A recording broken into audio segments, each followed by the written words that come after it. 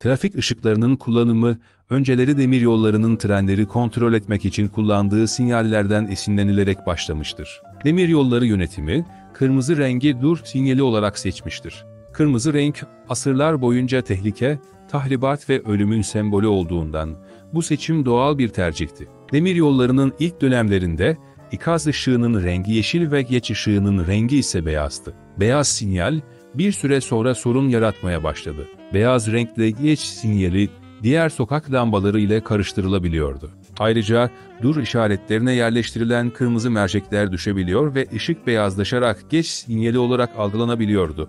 Bu da kazalara neden olabilirdi. Sonunda demiryolu çalışanları kırmızıyı dur, yeşili geç ve sarıyı ikaz sinyali olarak kullanmaya başladılar. Sarı, renk spektrumu içinde en göz alıcı renktir ve bir uyarı işareti olarak mükemmel bir seçimdi. Böylece bir sinyalin bulunması gereken yerde beyaz ışık görüldüğünde bir şeylerin yanlış olduğu anlaşılıp tedbir alınabiliyordu. Karayollarında yalnızca atlar ve at arabalarının bulunduğu tarihlerde bile dünyanın büyük şehirlerinde trafik sorunları yaşanıyordu. İlk trafik lambası otomobiller ortaya çıkmadan önce 1868 yılında Londra'da kullanılmıştır. Gazla çalışan ve bir eksen etrafında döndürülebilen kırmızı ve yeşil lambalar bir yıl sonra patlayıp kendilerini çeviren polisi de yaralayınca bu uygulama sona erdirilmiştir. Ancak otomobillerin ortaya çıkması ve şehirlerde dolaşmaya başlamasıyla birlikte trafik sorunları daha da artmıştır. Değişik uygulamalar yapılmış olsa da çözüm bulunamamıştır. Sonunda günümüzdeki trafik ışıklarına benzer ilk elektrikli otomatik trafik lambası,